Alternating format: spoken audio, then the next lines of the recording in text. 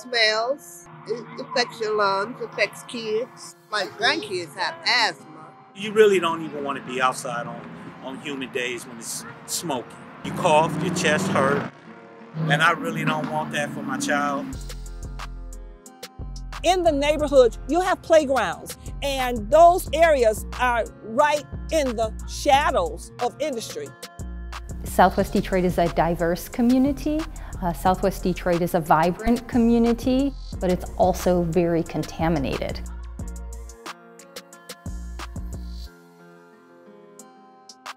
Like a stout heart within the city is Detroit industry. I am Theresa Landrum. I'm from Southwest Detroit 48217.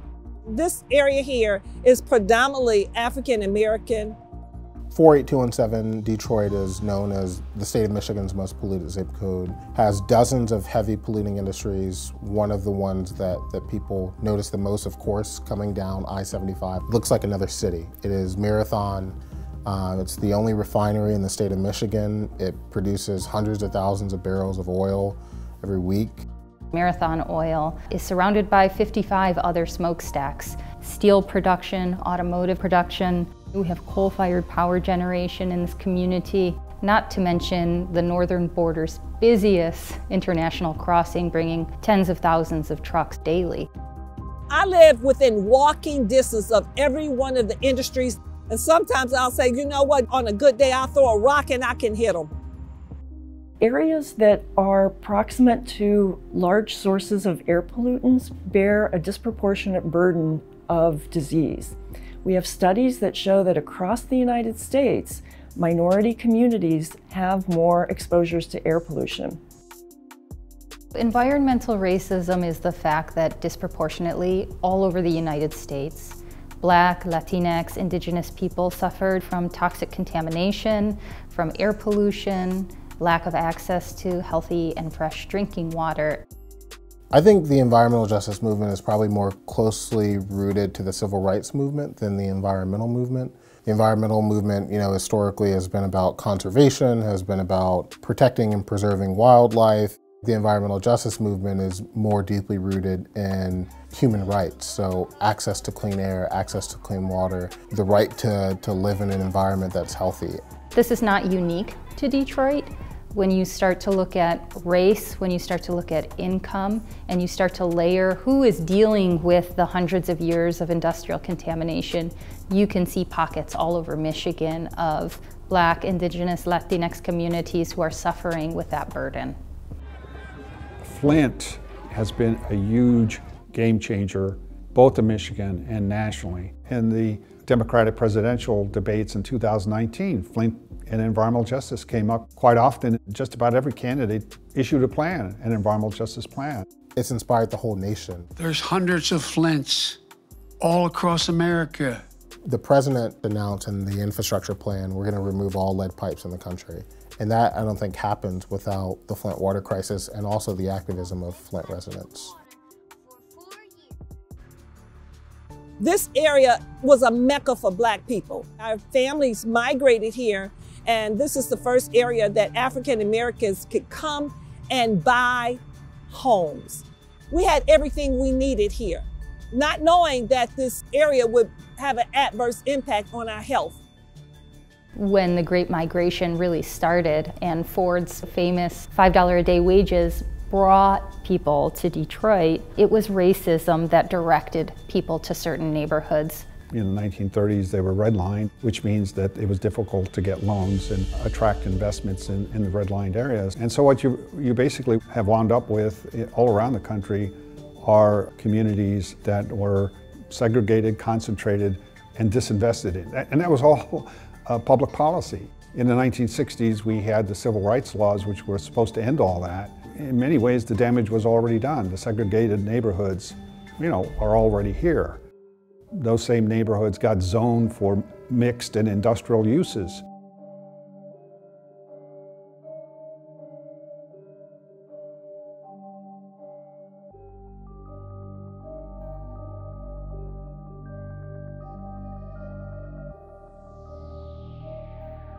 You see how massive it is. Didn't used to be here when I was a kid. As I-75 was being built, Marathon was buying up property after property. I-75 is the center of our zip code 48217. It devastated the community because we had a loss of families, we had a loss of homes, and it brought along with it pollution. We still have that family camaraderie, but over the years, we've seen a lot of our residents die from various diseases. Both my parents passed away from complications of cancer, and I'm a cancer survivor.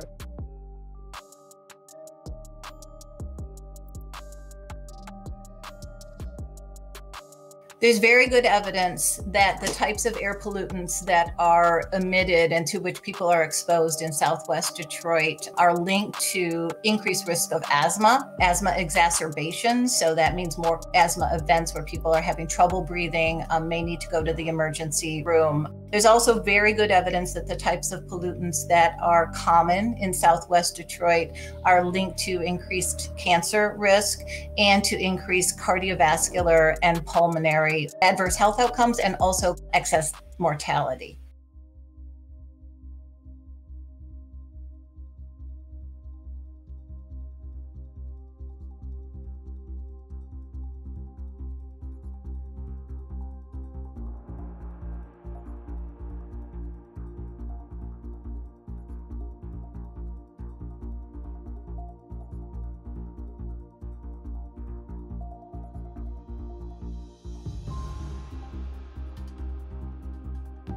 I live in this neighborhood because this is all I know.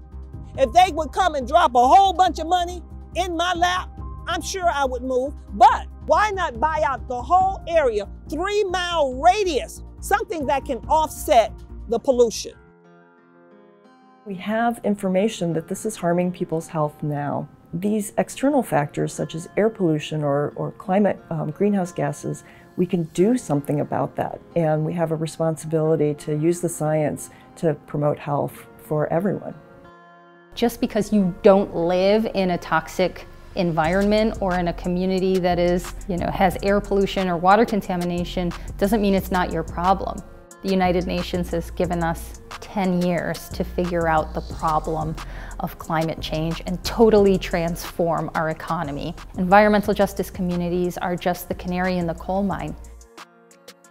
With changes that are anticipated with climate change and other issues, we can anticipate that we will see, be seeing more of those adverse health effects. And so attention to this issue is absolutely needed and timely. We need laws. We need the force of law. We need, we need to hold individuals accountable as well as public agencies. We need health in all policies. We need new tools like health impact assessments or cumulative environmental risk assessments.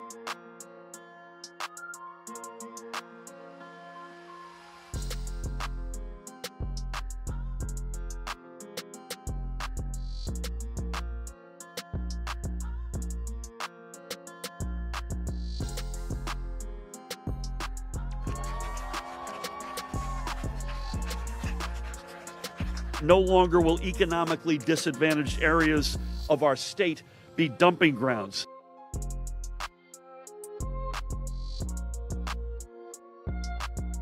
So that we're not simply saying, well, this is a new pollutant that'll be emitted.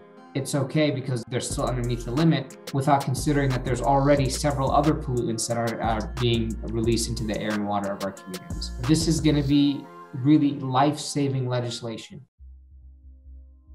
the momentum is picked up. We're at a very good spot in terms of the number of people who are getting educated, the number of people who are interested in getting involved in environmental justice issues. I think we're also at a very critical time where there's a window, there's an opportunity that we have to seize. This is the time. There's been this awareness for a long time and a lot of, a lot of frustration that more progress hasn't been made. We all have to become allies to work to be good stewards uh, to protect Mother Earth because we don't have anything else. We still haven't got that colony on the moon. Elon Musk them, they haven't got it, so you can't go anywhere. I can't go anywhere. If the world is so polluted, where can anybody go?